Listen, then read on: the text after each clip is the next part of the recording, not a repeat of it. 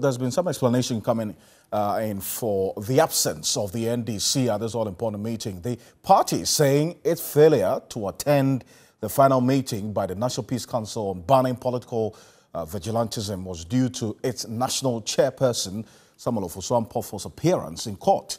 A Deputy General Secretary of the party, Peter Boamah Otokunor, in an interview said the party communicated the peace, to actually the Peace Council about the clash of the time that's when some of us will be in court and when this meeting will be taking place, but did not get any feedback from the Peace Council. We to be there today because our national chairman was in court and we gave them notice that we would not be able to be there. So the program, you know, perhaps should be rescheduled.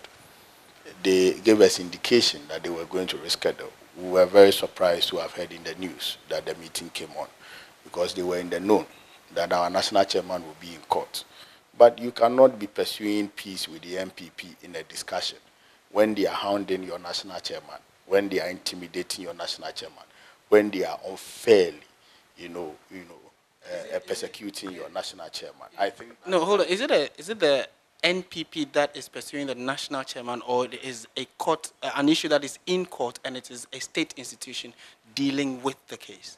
You see, there is a need for us to demystify where NPP is doing something and where NPP is not doing anything. Indeed, the government that we have is an NPP government. And the case that is in court is a purely political case.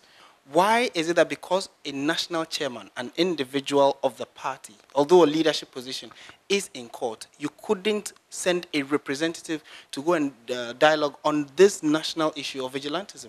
How do you defend this?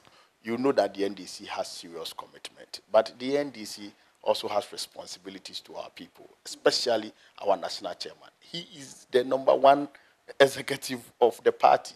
And you are hounding him on a political ground in a, in a needless, fictitious, you know, uh, uh, uh, issue. I mean, issue that, you know, nobody should be pursuing in court. And you are saying that we should leave that one and come and follow you on this dialogue.